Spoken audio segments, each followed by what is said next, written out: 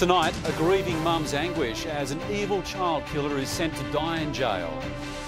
A grandfather stabbed to death in a mosque rampage.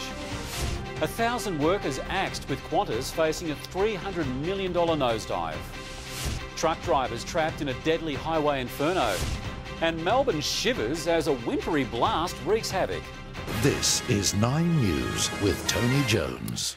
Good evening. Bega schoolgirl killer Leslie Camilleri, who's already serving two life terms, has been jailed for another 28 years for the murder of missing 13-year-old Prue Bird.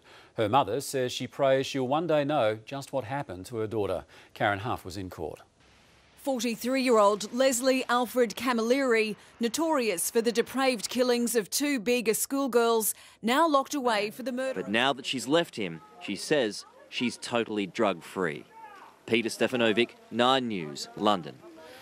In the news ahead, fare evaders caught in an early morning sting. The surgery free treatment easing the trauma of breast cancer. And a Google eyed motorist caught behind the wheel. Fare evaders were caught out in Southbank this morning as ticket inspectors launched a high visibility crackdown. Nine people were discovered travelling without a valid ticket, with some fined $212. Survey results show a spike in fare cheats, with nearly 12% of passengers enjoying a free ride, up from 9.4% last year. Breast cancer patients with large lumps are avoiding having to go through invasive surgery by choosing to have chemotherapy first. Doctors say the treatment regime is offering many women a brighter outlook. Gabriella Rogers with the story. This cancerous lump is nearly the size of a golf ball, measuring about three centimetres. Emails and even videos wasn't switched on at the time. Well, oh, always switched on with sport is Clint Stanaway. Thanks very much, Tony. Tonight, a real struggle developing in Adelaide, but the Aussies, they still have a few tricks up their sleeve. Also, Suarez nets four while United crumble. And Tex lays a tackle on his old mate. This sports report brought to you by KFC. Sweet Sesame Crunch is back. Come in and try a piece today. So good. Good evening. Australia has made a solid start to the second test after a topsy-turvy opening day in Adelaide. Chris Rogers led the charge with 72, George Bailey, Shane Watson and the skipper also in the runs as the home side crept to 5 for 273 at stumps. Corey Norris reports.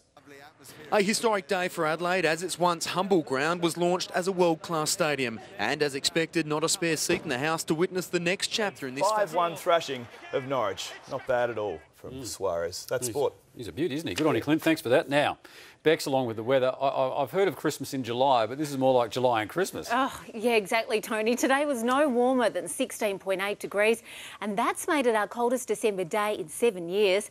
In fact, the last time it was colder than this was on Christmas Day 2006. That was icy cold with a top of just 14.5, but there was also a day of 42 degree heat around that time as well. Good old Melbourne. I'll have the full forecast next. Good evening. Well, there wasn't any more rain overnight and the cloud broke up. So this morning we saw blue sky across Melbourne, but we knew it wasn't going to last long. The cloud and showers rolled in after lunch. Our low was 11 and our top just 17.